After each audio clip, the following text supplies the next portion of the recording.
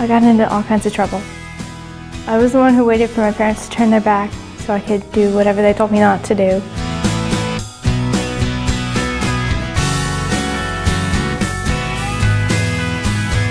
Pretty much I just did whatever my sister didn't do. My sister was the good girl and I was the bad one. I was a tomboy.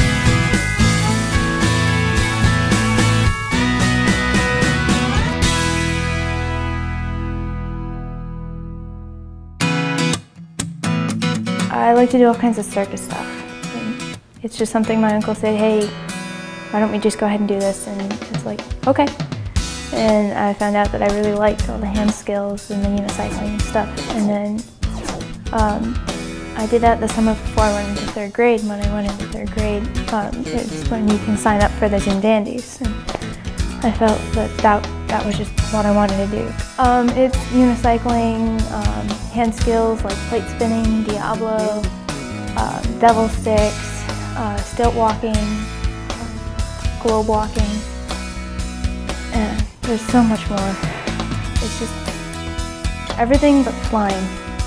All the, the acrobatic stuff and uh, the animals. That's pretty much everything besides those. This is Finnegan. He's my new puppy. We got him about a month ago. And he is, well, I call him Trouble, but he's just absolutely adorable. Okay. He likes to chew on feet and hands.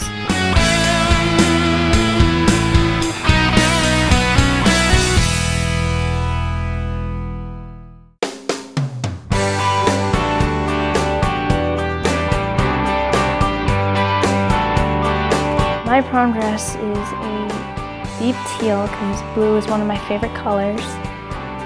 And I picked it out because it, it has that very formal look. It's got um, like an almost corset top with a lace in the back. And it's just absolutely gorgeous. So pretty much why I picked it.